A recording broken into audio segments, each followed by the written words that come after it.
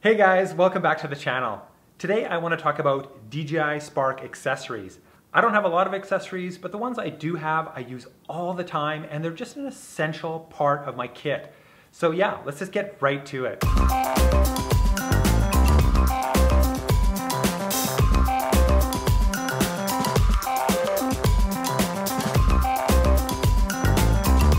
First accessory is the DJI Spark remote controller.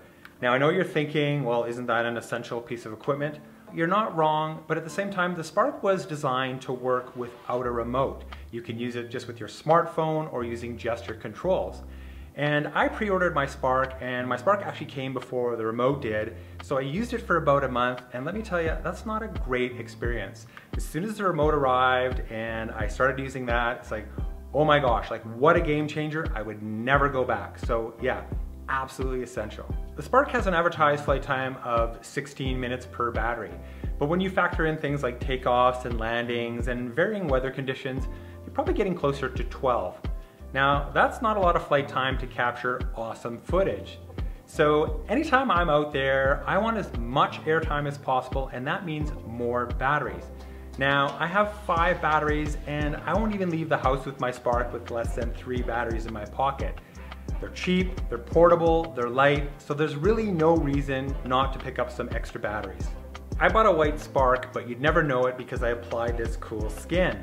And I did it primarily because I was flying a lot in the winter in the snow, and I thought, white Spark in the snow, I'm gonna lose it in a snowbank and never see it again. Anyhow, I think the skins are fun, they come in a variety of colors and patterns, they're easy to install, they're cheap, and they last a long, long time. So if you want to give your Spark a little flash, a little pizzazz, just pick one up and give it that custom look. Keeping everything powered up in the field can be a real challenge. The Spark, the remote, my smartphone, batteries, gimbals, cameras, it's kind of crazy. So when I got my Spark, I picked up two of these Anker portable batteries. They're cheap, they're light, they're portable, and they charge everything I need. I never leave the house without at least one of these in my backpack. For longer road trips, I also picked up a car charger. Now with this device, I can plug in my Sparks charging hub and I can charge three batteries at a time. And I can also use the USB ports to charge all my other accessories.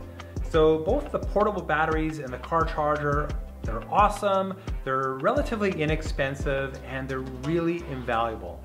One of the best things about the Spark is its size.